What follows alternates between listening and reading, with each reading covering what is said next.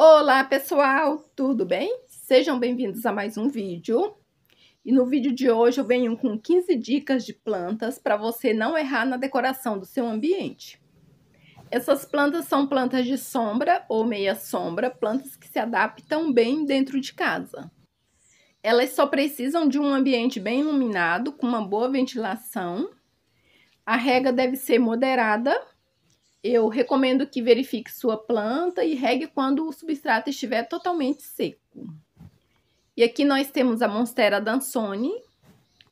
Essa é uma boa opção de planta para dentro de casa, uma folhagem muito decorativa e de fácil cultivo, uma planta que rende bastante. E pode ser cultivada como planta pendente ou planta trepadeira. Não é uma planta exigente e de qualquer forma fica belíssima.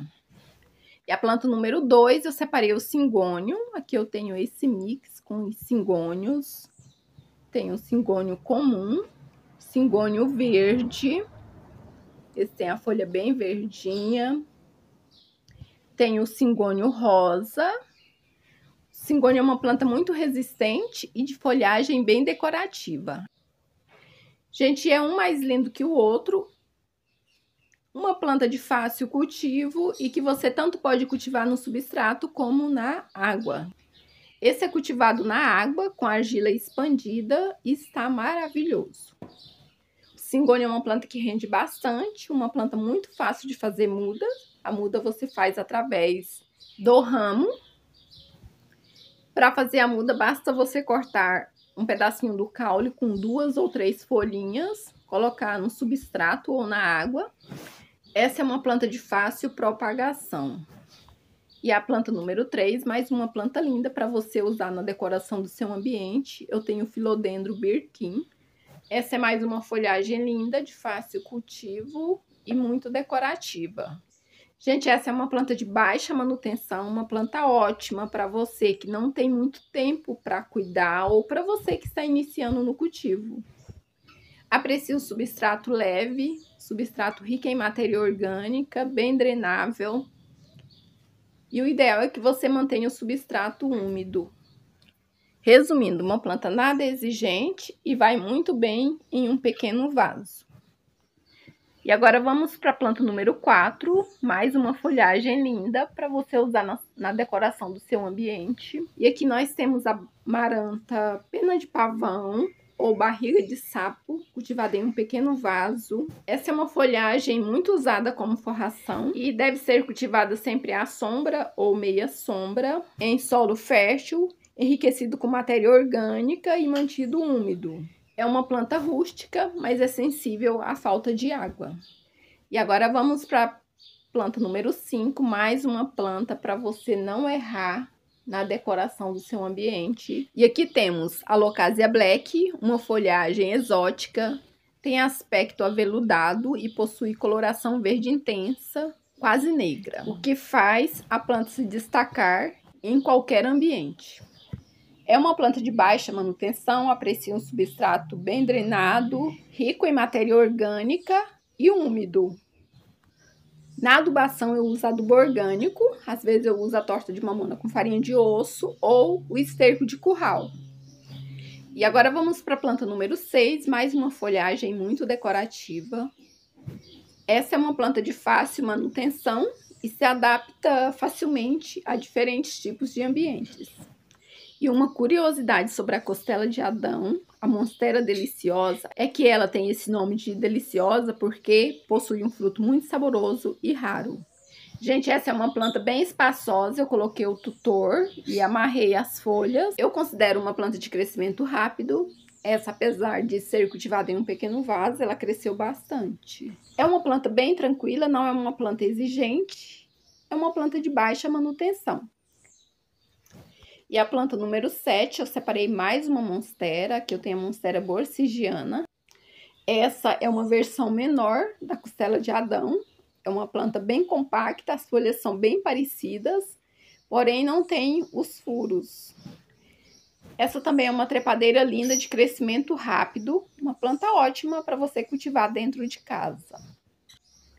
E agora vamos para a planta número 8, mais uma folhagem linda para você usar na decoração do seu ambiente. E aqui nós temos o pacová, uma folhagem de fácil cultivo. E se você quer uma planta mais compacta, use um pequeno vaso, porque essa também é uma planta que cresce bastante.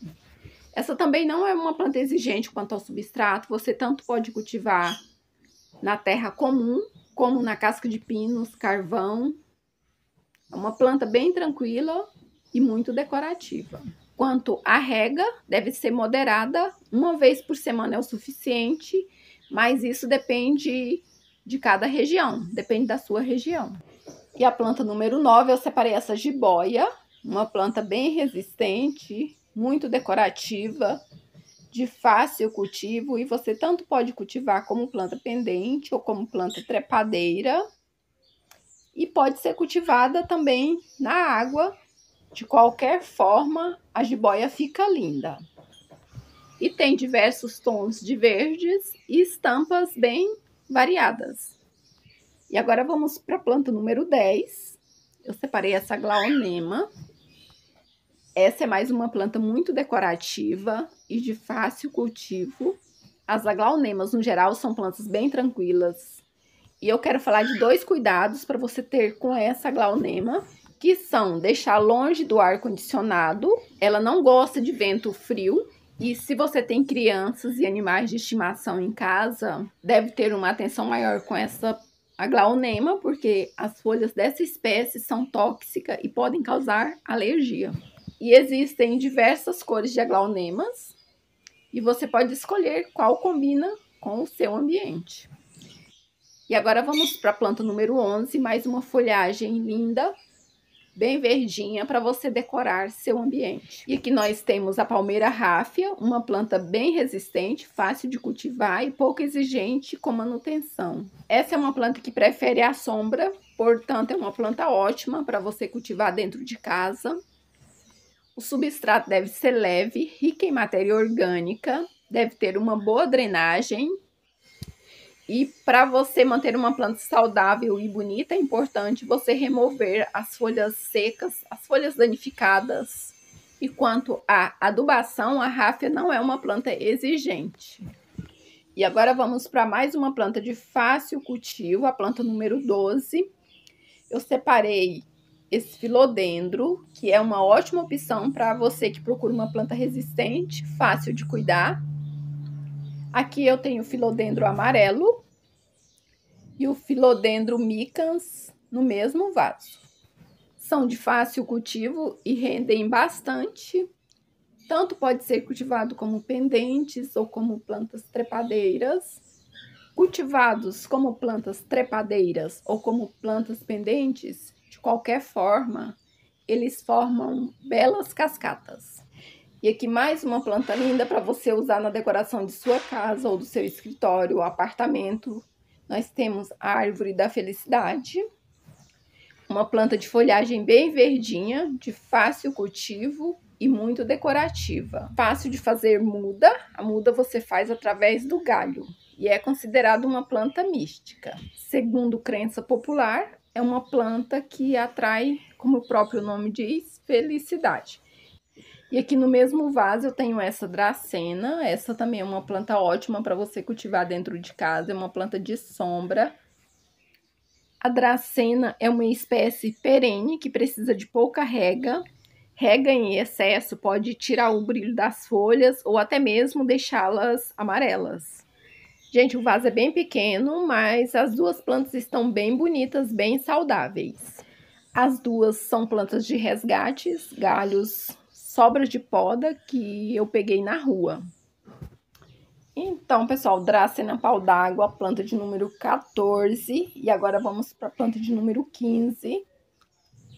Mais uma folhagem linda e de fácil cultivo. Uma planta ótima para você decorar seu ambiente. Aqui nós temos o Ficus lirata. Essa é uma planta bem resistente. Substrato eu uso a terra comum, mais esterco de curral. A rega deve ser constante. Aqui eu faço a rega de duas a três vezes por semana, mas a rega vai depender aí da sua região. É uma planta bem linda, Tem as folhas assim grossas, bem rústicas. Uma planta muito decorativa. E é uma planta muito fácil de fazer muda. A muda você faz através do galho, da estaquia do caule. Aqui no meu cultivo, eu considero uma planta de crescimento rápido. Essa eu já fiz poda por duas vezes. Aqui, a primeira poda. Ela cresceu bem rápido, soltou galhos. E eu fiz a segunda poda. E já soltou esses galhos novamente. Essa é mais uma planta muito linda e de fácil cultivo, uma planta ótima para você que está iniciando no cultivo. E aqui eu tenho mais algumas plantas.